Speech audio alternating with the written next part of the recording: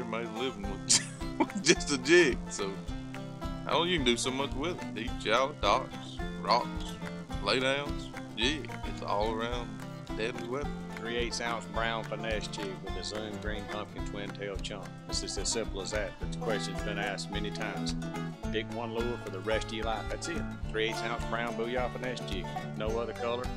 Simple Zoom twin tail. I catch a deep, shallow, swimming, hopping, it doesn't matter. I can get by with just that one bait.